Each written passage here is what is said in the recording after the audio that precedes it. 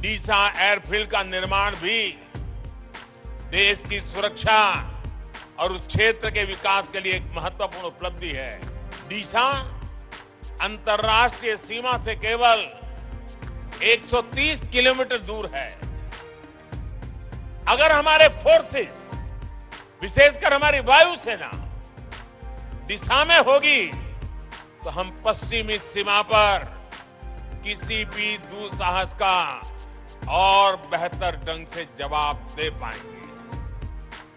इस एयरफील्ड के लिए गुजरात की ओर से साल 2000 में ही डीसा के ये ज़मीन दी गई थी।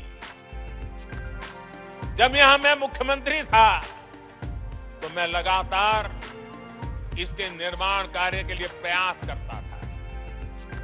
तत्कालीन केंद्र सरकार को उस समय जो सरकार थी, उनको बार बार मैं समझा रहा था, इसका महत्व क्या है?